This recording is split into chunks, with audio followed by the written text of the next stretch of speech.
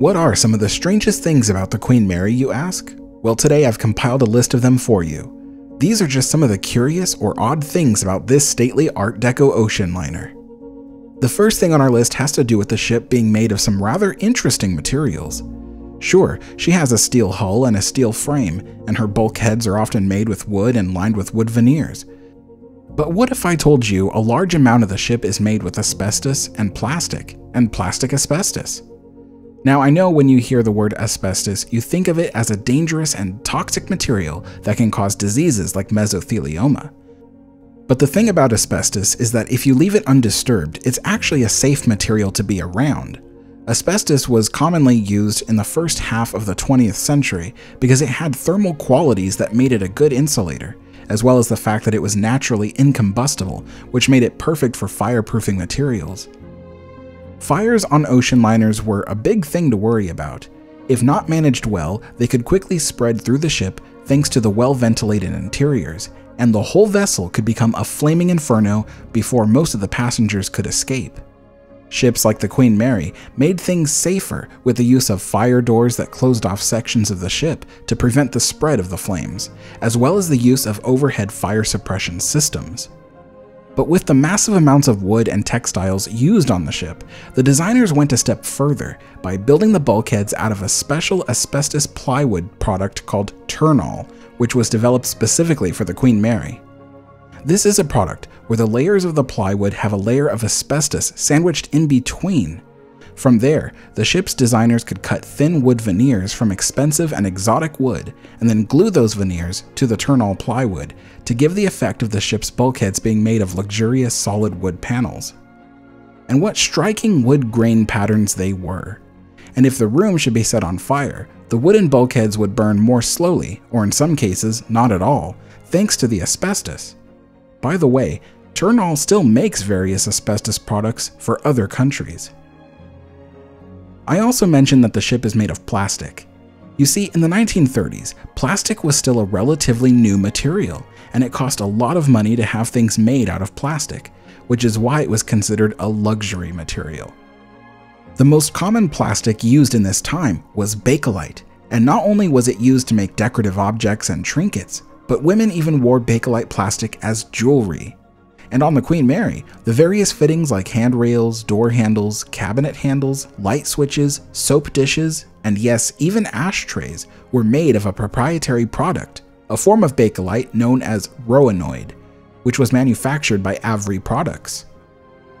What made Bakelite so useful was that it had thermal properties that made it difficult to melt, which was perfect for ashtrays, but due to its thermal properties, Bakelite did not feel cold nor warm to the touch, which is what made it perfect for handles, handrails, and even toilet seats. So what miracle ingredient made Bakelite such a useful product? Why, asbestos of course. Many different blends, or recipes if you will, of Bakelite were made with asbestos, and Roanoid Bakelite is found nearly everywhere you look on the ship. And if that wasn't enough, Depending on the various colors of Roanoid products, they could also contain lead to help make the colors more vibrant. But before I move on, I must remind everyone that the ship's wall paneling and door handles are all perfectly safe to touch. You could even lick them if you wanted to, though I don't recommend it. But if any of these materials must be cut or drilled into, that is where safety equipment must be worn. Another facet about the ship that you might not have ever thought about was the ship's cats. In the old days, most ocean liners had resident cats aboard to help control the rodent population. But what makes it interesting is that the cats on Queen Mary were registered with the company that operated the ship. The felines were essentially considered employees of the Cunard steamship line. Dogs, on the other hand, were not residents on the ship. If you saw a dog, it likely belonged to a passenger. Dogs and other pets were allowed to travel aboard the Queen Mary, though the rules stated that they must be kept in the ship's kennels, which were located up on sports deck, near the first class tennis court and squash court. Passengers were allowed to visit their pets every day, but the person who took care of the pets, the guy who fed them, walked them, and bathed them, was none other than the ship's butcher. That's right, the butcher, the man who carved up pork, beef, and lamb for the kitchen. It was said that a first class passenger could challenge the chef to cook any meal they could think of, and the chef could make it for them. Thankfully, though, I've never heard a story where the kitchen crew had to search the dog kennel to satisfy the passenger's hunger. The Queen Mary is home to many bizarre and odd stories of death, but one stands out to me for its strangeness. On the night of September 18, 1949, the captain and the ship's officers were relaxing and thought of making drinks. Captain Andrew McKellar told Officer William Stark to go into the staff captain's cabin to retrieve a bottle of gin. The cabin steward, Frederick Stokes, helped Officer Stark with the search for the gin bottle, which proved difficult to find. Stokes found an old gin bottle and handed it to Officer Stark, who then returned to the captain's cabin and prepared some drinks. Later that night, Stark told the captain that the drinks they had were rather funny the captain realized that Stark must have grabbed the wrong bottle and instead served up a bottle of carbon tetrachloride, which was used to polish furniture and was being stored in an old gin bottle. The captain had all the men report to the ship's doctor to have their stomach pumped, but Officer Stark did not take it seriously and refused to be treated. Later, he was found unconscious, and when the ship reached Southampton, he was taken to hospital, where he died three days after drinking the toxic chemical. I find it rather odd how Officer Stark did not want his stomach pumped, nor did he take the situation seriously. But this story serves as a good reminder to never store toxic or inedible products in food or drink storage containers. It's just not worth it. Hearing about the Queen Mary having a doctor on board may have surprised a few of you. In fact, the Queen Mary had three different areas dedicated to healthcare. Passengers who needed to see the doctor could be admitted to his office on the aft end of B deck on the port side. In fact, the old doctor's consulting offices are still there. They're used as hotel rooms today. If you needed medical care, they would escort you to the ship's hospital, which was located port side on C deck amidships. There were wards for women and wards for men, nurses' stations, a dispensary, and even a surgical theater. There is only one story that I know of where a surgery had to be performed in this hospital, and it was told by former Queen Mary crewman Ralph Rushton. According to Ralph, he was part of a rescue party that braved the stormy seas by boarding a lifeboat that went to pick up a crewman from a freight ship. The man had a broken leg and needed immediate care, and the Queen Mary was the closest ocean liner with a doctor and hospital. With ocean swells up to 30 feet, the lifeboat made its way back to the Queen Mary, where the injured man was hoisted aboard in a specialized basket. It's possible that more surgeries were done here during peacetime, but I don't personally know of any. Most certainly, this hospital would have been busy during World War II when the ship served as a troop transport, and also when the ship was struck by a 92 foot rogue wave that caused her to roll 52 degrees injuring and killing countless military men and women. However, if there was an issue where one or more passengers had been found with lice, parasites, or communicable diseases, there was a third place aboard the ship to care for them in isolation. This place was rightly called the Isolation Ward. A ship like Queen Mary is a place where several thousand people stay in close contact with others for nearly a week. This kind of environment can cause things to spread rather rapidly. That's why the isolation ward was so important to the Queen Mary. Here we can see the starboard side of the ward where female patients would have slept. They even shared a bathroom and toilet. Next door is a cabin for two female nurses who would tend to the sick female passengers.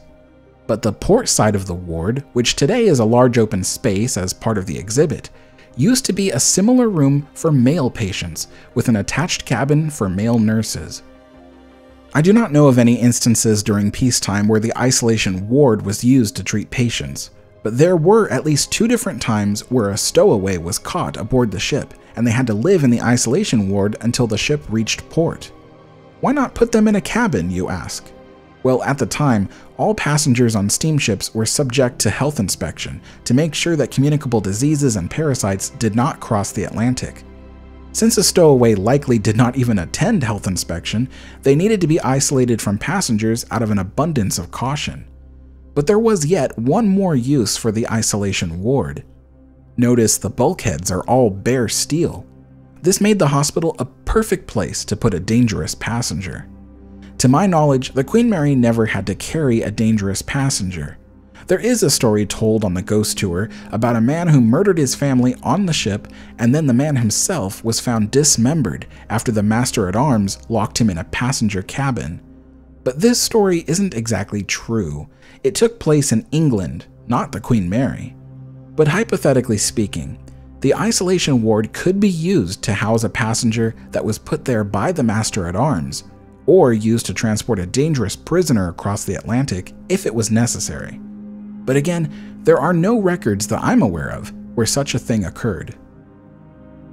Another oddity about this magnificent vessel is actually a design feature. This is the well deck. A well deck is a recessed deck often found on either the bow or the stern of a ship. In Titanic's case, it had a well deck on both. The purpose of this feature was to break up a wave that might climb over the bow of the ship. RMS Lusitania is an example of a ship that got heavily damaged when a wave came over the bow and slammed into the forward superstructure. To prevent this from happening on the Queen Mary, she was given a well deck designed to force the water away from the superstructure, but the effectiveness of a well deck is arguable, which is why Queen Mary's younger companion liner, Queen Elizabeth, did not have one.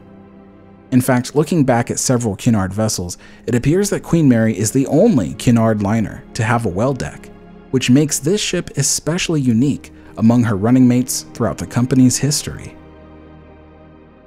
The final strange thing I wanted to highlight in this video definitely takes the cake. What if I told you that the Queen Mary offered physical therapies, which today would probably qualify as torture? Well, you see, passenger ships, particularly cruise ships, often have a spa aboard where people can relax and be pampered. Queen Mary didn't have a spa per se, but she did have something that is somewhat similar. Many ocean liners at the time had Turkish baths. Generally speaking, they offered various therapies such as a swimming bath, a hot room that was also moist, like a sauna, then a dry hot room, and then they had a cold room. Queen Mary's Turkish baths were no different, but the Cunard liner boasted the latest therapy trends. If you told the attendant that you were having issues with your shoulder, they would actually take an x-ray photo of your problem area and then prescribe a treatment. The treatment could be something as simple as a massage, or ultraviolet irradiation therapy, infrared irradiation therapy, or even diathermy, which is a therapy still used today where high frequency electromagnetic currents are shot through a specific area of your body to relieve the ache or pain. Today, this type of therapy is regulated and safe forms of it are applied. But back in the 1930s, aboard the Queen Mary, they just cranked up the juice and hoped you felt better when you were done. They even offered a more traditional therapy called an electric bath, where essentially it's like a tanning bed you sit down in a device filled with ordinary light bulbs. The people of the early 20th century believed that the lamps provided some kind of therapeutic quality, although I can imagine the electric bath, after a while, would start to feel like an electric oven. Here's a bonus fact. Though Queen Mary had hospitals, she did not have a morgue. During peacetime voyages, it was rare but not uncommon for a passenger or crew member to die. Some people died of natural causes, Others died from unsafe conditions aboard the ship due to weather phenomena. In any case, often the body would need to be transported to port, so the body would be stored in the ice cream freezer on D deck. As a result, all the passengers would be served complimentary ice cream in order to make room in the freezer. The RMS Queen Mary is full of quirks. That's one of the many things I love about this fabulous vessel. There are endless stories and fascinating sights around every corner. If you enjoyed this video and want to see more about the Queen Mary, give this video a like, subscribe to the channel, and write a comment to let me know your thoughts about Queen Mary's strangest things.